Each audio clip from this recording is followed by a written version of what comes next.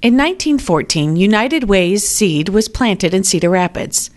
And over the years, our community has continued to increase its gift during annual campaigns.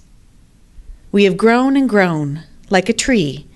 We focus on making our branches stronger and focus on health, income, and education issues.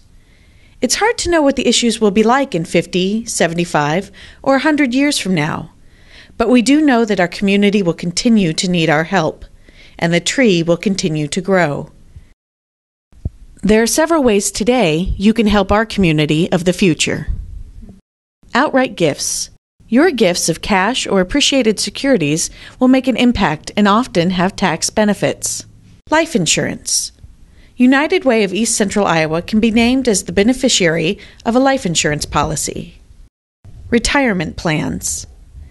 Significant tax benefits can be gained by naming United Way of East Central Iowa as a residual beneficiary of retirement plan assets. Bequests.